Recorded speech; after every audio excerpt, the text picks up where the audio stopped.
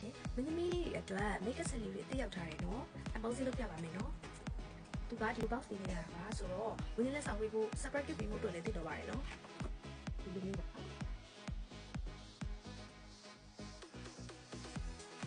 ဒီလေးပါနော်ဒီစာလေးထုတ်ပို့ထားတာပါပြီးရင်ဒီရဲ့ပတ်တာလေးကိုဆက်ထုတ်လိုက်မယ်ပြီးဒါလေးကိုရှိဦးထုတ်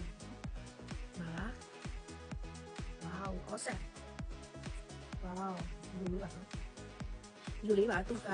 ဒီမှာမှန်လေးပါမှာပါပြောလို့ရှိရင်သူကဒီမှာဒါလေးကပါနီလေးပေါ့နော်ပါနီလေးပါမယ် eye shadow ဒီဒါလေးကနှကန်းလေးလေးပါမယ်ပေါ့နော်ဟောခက်ရှိအသေးလေးကအကွက်30ပါပါတယ်အရှိအကြီးကကျတော့3ကွက်ပဲပါပါတယ်နော်ပြီးရင်ဒီဒီ color လေးပါမယ်ပြီးရင်စုပ်တန်လေးပါမယ်ပေါ့နော်ပြောလို့ရှိရင်မျိုးခုဟော eye shadow စုဖို့အတွက်ဒီမှာ brush လေးပါမှာပေါ့နော်ပြီးရင်လက်တက်လေးစုဖို့ရဒီတစ်စီးပါမယ်ပြီးရင် sticker လေးပါမယ်ပေါ့နော်ဒီမှာပါဒီမှာစုံလေးပါပါတယ်ဒီလိုလေးပါရှင်ဒီလိုလေးပါ quality လေးလည်းကောင်းပါတယ်ဖေဖေ make up လေးတွေကရေကိုအခြေခံပြီးတော့ထုတ်လုပ်ထားတာဖြစ်တဲ့အတွက်ကြောင့်မို့လို့ဖေဖေလေးတွေအတွက် side effect လုံးဝမရှိပါဘူးเนาะပြောလို့ရှိရင်သူတို့ကိုပြန်ပြီးတော့ခက်တဲ့အခါမှာ ဝတ်တ िश ူလေးတုံးပြီးတော့ဖြတ်ရုံနဲ့ပြတ်ပါတယ်เนาะ make up ပစ္စည်းတွေကိုသုံးကြည့်ပြီးတိုင်းတေချာစွာစနစ်တကျတက်ရှင်တက်စီပေးပါเนาะ